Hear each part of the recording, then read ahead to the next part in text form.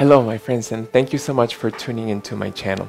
So, today I want to spend some time with you and share one of the most liberating tools that I've learned in my journey so far. For many years, I wasn't happy. I wasn't happy with what I was doing, I wasn't happy with my job, I wasn't happy with the amount of money I made, I wasn't happy with my love life, and I never seemed to really find you know who I was and what I want. And and, and every time that I, I knew that there was a voice speaking within me telling me you should be going in this direction it, it almost like I never felt like the power or the enthusiasm to just go for it and just trust and and, and, and manifest. It was almost like I wanted to be like on a safe spot. At many times um, I was looking at people especially like later on in life that were making comments like, wow, I wish I would have known that it was this simple. And I really thought I was headed in that direction. I thought I was going to be the one that looked back and say, wow, life was so simple. And literally, I just worked for 40 years doing this job that I didn't like, making the money that I didn't want to make, uh, and never manifested the relationship that I want. And, and, you know, for me, that was almost like a terrifying feeling. I did not want it to make it out to that point in life and have to look back and see that I totally missed the mark.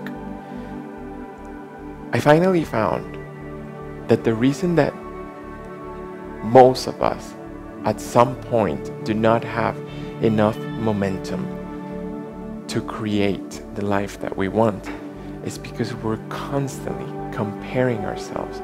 Comparison is so toxic. Comparison is a silent demon that lives within all of us. It lives within me, it lives within you, and it lives within even the people that want to say, Oh, I don't compare myself. We all do. We start life comparing ourselves. We're trained to seek outside approval. So, since the moment that we're little, we're getting instruction from the outside and we're being told this is good, this is bad. You did great, you did wrong. Sit down, pick up, go to school, then you have grades, then you have friends, then there's little groups, and so on and so forth. And then this person gets picked and you don't, and then you get picked and that person doesn't. So it's almost like a world of relatives, and that's never going to change because that's the society we live in. So, my goal here today is free you from that so you can go on and live your journey. And the only way that you're going to be able to do that is signing out from this game. So, no, it's not like you have to go live off the grid with no power on a tent and say, okay, I'm not part of society. We're part of this society. But we just need to suffer a little less about it. And the, the, the best way that I can describe where the comparison lays within us as a society is I'll give you this example. So let's talk about something simple, materialistic, and with no emotional uh, pattern in it. So think of money. I'm sure there's many people right now that you can think of that are richer than you. Yeah. So where do you see them? They're like right here, right? And then you can probably think of tons of people that are in a more disadvantaged position that you are. And then where do you put them? Put them right here.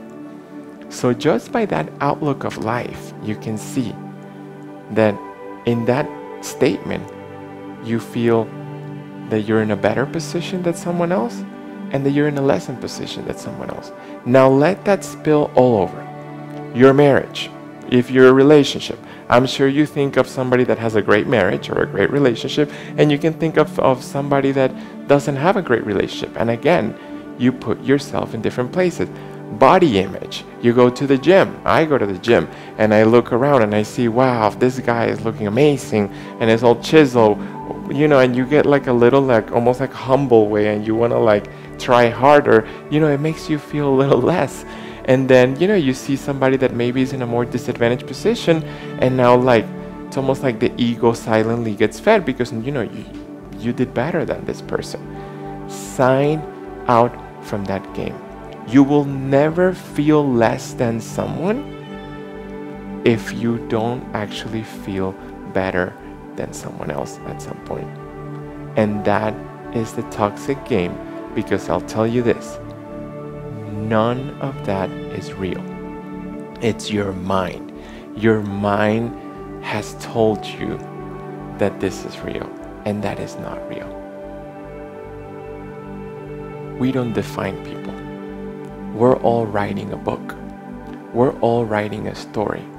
And my story is unique, and your story is unique, and there is no point of ever holding it against each other. Whether you have a better career or more money and a better car and, and, this person doesn't and, and whether you have a great relationship and this person has been single for 10 decades that doesn't make one journey better than the other. I am fighting my battles. You are fighting your battles. Some things in my life are going to come really easy and other things i'm going to struggle a little more to manifest and same goes for you. And guess what? I hope I can help you. And I hope you can help me. And I wish the best for you. And I hope you wish the best for me. And that's how we begin to sign out from this game. When we finally step back and we finally understand that there is enough opportunity, there is enough time, there is enough people, there is enough everything for you to win at your life and for me to win at my life. So, what's the point of seeing where we fall in the equation?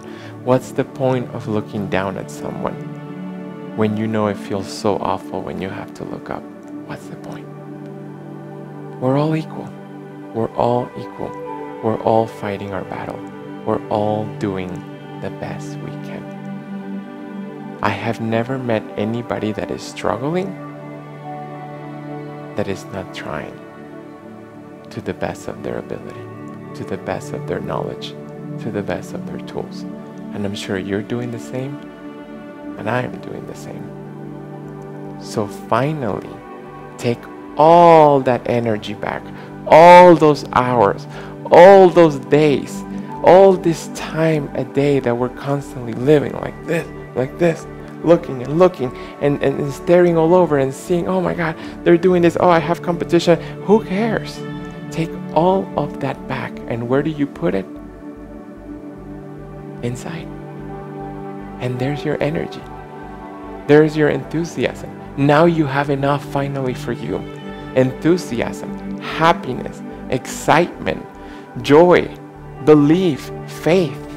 That's where all that energy is. It's wasted all day scrolling and looking at better people and making fun and judgment because that and, and I'm not judging you for doing that because we don't know any better and I have done it too many times. That's what we've been taught. We were taught to look outside. So that's why we don't trust anything that we hear. And when you finally shift and realize that you never had to do any of that. You were giving one person to take care of, and that is you. And if you have dependence, trust me when I say this, when you become the better version of you, everybody around you is going to benefit. Listen to yourself. Stop looking. I'll give you tips. I have social media on a timer on my phone. I only get 20 minutes a day.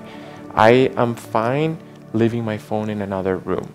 I really put headphones on when I go work out and I try to just look down most of the time. Why? Because I want my energy to be focused on me and so on and so forth. And you have to, my grandmother used to say this years ago, and I love it. You have to wake up in the morning and she will say, kiss your arm, kiss your arm. And that's beautiful because that's what you should do. Be your number one fan. Look at yourself. Stop comparing all that energy that you woke up with today, bring it all to you. Bring it all to yourself. Bring it all to your projects. Bring it all to your mission, to listening to your purpose. It might not happen overnight. It might take you days to figure out. It might take you weeks to get the confidence. But don't fall out from the journey. Take care of yourself. Be proud of yourself. And don't be so unfair. It is really unfair to you and to your soul and to your journey and to everything that you have overcome and to everything that you have become to compare yourself to someone else that had it completely different. You know what you've been through and you know what it took to get here and you better be damn proud of it. I'm excited to see what you will become. I wish you all the best. I hope you have a blessed day. And I hope that today you look at the most amazing person in your life all day long. And that is you. Have an amazing day.